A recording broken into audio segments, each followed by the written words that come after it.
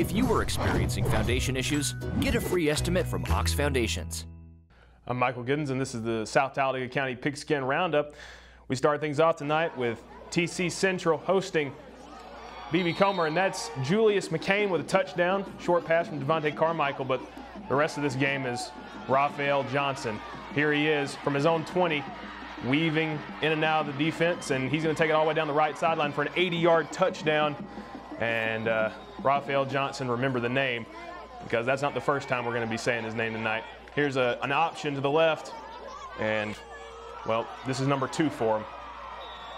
Not much effort given there by the TC guys. Uh, here's another run right up the middle on the inside draw out of the shotgun formation. Raphael Johnson, number three, about the same play. This time he takes it off tackle and just he's faster, faster than the other guy. Another touchdown. This time inside his own half. He goes straight up the middle and he's just too fast for the TC defense. Raphael Johnson for BB Comer.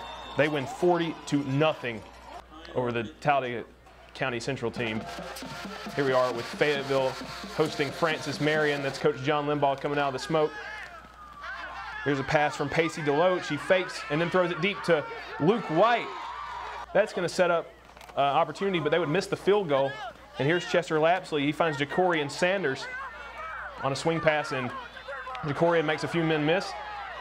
Uh, breaks the tackle, and he's going to set up this next play, which is Javion Kennard, who goes 55 yards. And that's a score. Francis Marion would take the lead 6 0. They would fail the two point conversion. But Fayetteville would answer with a long drive and a touchdown run by Brady Ritchie. Immediately following that, the onside kick. Larry Allen goes for it, but he doesn't get it. And Stephen Barrett for Fayetteville, he recovers. It's 7 to 6, but they couldn't capitalize. And in the end, Fayetteville wins 32 to 26 over Francis Marion. Now here are Childersburg Sylacauga pick it up. It's already a blowout, 45 to nothing. But here's Childersburg's one score of the game, a deep ball. Not the best camera work by yours truly, but Cordell Spear does catch it. And now we have round two of this battle between Cordell Spear and the defensive back. And this time, he's going to score Jeremy Odom Jr. I mean, it's something that we sorely needed. You know, we, we needed a good bounce back win after losing just a heartbreaker at Mortimer Jordan, and especially against your crosstown rival. You know, anytime you can get that kind of win, anytime you can put a game away by the by the by the halftime or by the beginning of the third quarter and play as many kids as we got to play, it was a good night. That was Coach Matt Griffith.